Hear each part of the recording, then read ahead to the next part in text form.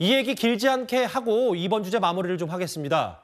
최근에 일부 야권 성향의 커뮤니티를 중심으로 한동훈 장관의 화법을 풍자했던 웹툰 만화. 그러니까 뭐 아시는 것처럼 아, 아시는 분도 계시겠지만 편의점에 간 한동훈 이게 꽤 온라인에서 많이 돌아다녔습니다. 오늘 부산 검찰청에 갔고 기자들이 이 관련해서 질문을 하니까 한동훈 장관 이렇게 답을 했습니다. 최근 그 장관님 특유의 합법에 대해서도 일각에서 논란이 있는데 거기에 대해서 어떤 생각을 가지고 계시는지 저는 제가 말하던 대로 하는 거죠. 뭐 그거 말, 말하는 거가요. 뭐 웹툰, 뭐 만화 네네. 저는 못 보다가 오늘 봤는데요. 저는 공적 인물이니까 어, 저는 풍자의 대상이 돼도 된다고 생각합니다. 어, 그런데 어, 민주당 분들이 저한테 너무 관심이 많은 게 좀 신기하긴 합니다. 다만 그분들이 저한테 하는 질문이 맞고 제가 하는 답이 틀리다면 이렇게 국회에서는 반박하지 않고 어, 라디오 달려가서 저 업술에 뒤풀이하거나 어, 이런 거 만들어서 열심히 돌리지는 않을 것 같아요.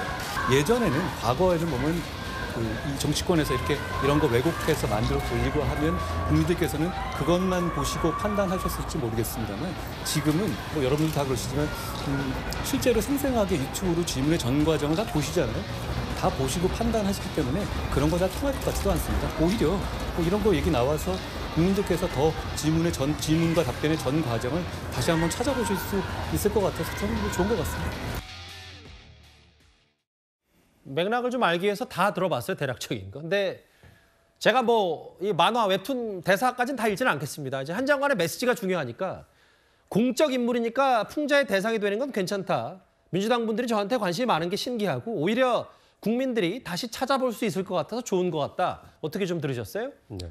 그러니까 이제 한동훈 장관 관련된 이제 뭐 편의점에 간 한동훈 그 웹툰을 보신 분들이 많을 텐데 이것은 옳고 그름의 문제는 사실 아닙니다. 그러니까 한동훈 장관의 저런 말투에 대해서 저것이 옳다 또는 저렇게 저런 답변 태도가 그르다 이런 것이 아니라 저런 것을 좋아하는 분도 있고 아 저건 뭐 사이다 발언이다 야당의 어떤 그 좀 뭐랄까 부적절한 질의에 아주 뭐 반박을 잘한다.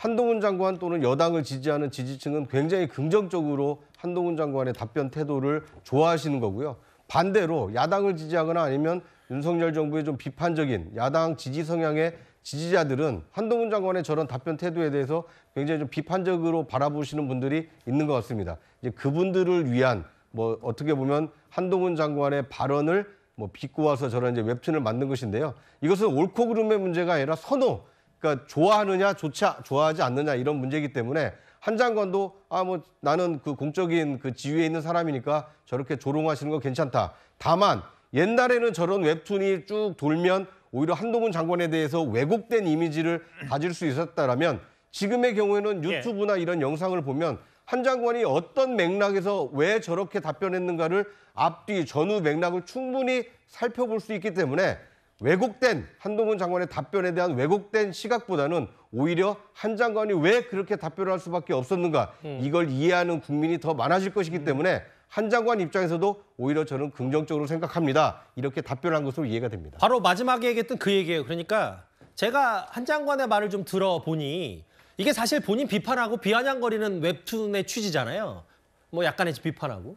근데 이제 나는 자신 있다. 뭐 모든 게 이렇게 했다고 해서 내 뭐 여러 질의응답 혹은 답변들이 다 유튜브에 고스란히 전문이 다 있기 때문에 알아서 더 판단할 거다. 오히려 그래서 더 좋은 것 같다. 이렇게 얘기를 좀 하고 있습니다. 그러니까, 그러니까 어떤 내용 자체는 좀 비아냥거리는 이야기지만 사실은 이제 어, 이걸 보는 분들 입장에서 보면 나중에 되면 이 메시지는 다 잊어버립니다. 대신 이제 한동훈 장관이라는 그 어떤 이미지만 박혀 있는 거거든요. 오히려 저는 한동훈 장관이 이런 부분에 대해서 이제 풍자되고 하는 것들이 뭐 유명세를 타는 거죠. 왜냐하면 뭐, 뭐 일반 사람들이 다 저렇게 하겠습니까? 안 그렇잖아요. 더군다나 또 이게 젊은 층들한테 굉장히 많이 또 전파될 수 있는 거거든요. 그렇기 때문에 저는 뭐 이건 결코 한동훈 장관에게도 나쁘지 않다. 오히려 이런 것들이 또 나중에 한동훈 장관의 어떤 발언에 대해서 집중해서 볼 수 있는 계기가 되기 때문에 저는 뭐 결코 뭐 마이너스 되는 요인은 아니라고 봅니다. 예, 오히려 좋은 것 같다고 했는데 그만큼 본인 관련 뭐 만화까지 등장할 정도로 한 장관의 일거수일투족에 꽤 뭐 진영 다 불문하고 관심이 많은 것 같습니다. 마약 얘기와 한동훈 장관 오늘 저 웹툰 메시지 얘기까지 첫 번째 주제였습니다.